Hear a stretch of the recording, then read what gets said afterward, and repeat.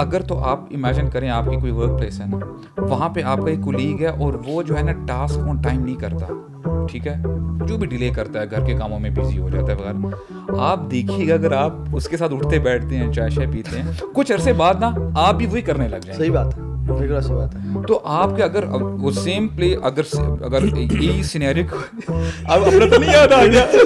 मुझे याद आ रहा है कि मैं लेजी क्यों हो गया इसके साथ यार? जो मैंने भी इसको इशारा किया कि मैंने इसकी तरफ़ देखा मैंने कहा तेरी अच्छा भला मैं डिसिप्लिन आदमी था। जब से इसके साथ मिला अच्छा अभी अगली इससे पहले कि ये मुझे बोले मैं मुझे अगली- मैं अगली एग्जांपल बताऊँगा तो आपने मेरी तरफ़ देखना मुझे पता है हँसी की भाई मैं चीमे के साथ रहता था ना तो असल में असल में चीमा है। असल में चीमे ने तोहा को तोहा ने ली थी शाम मैं अच्छा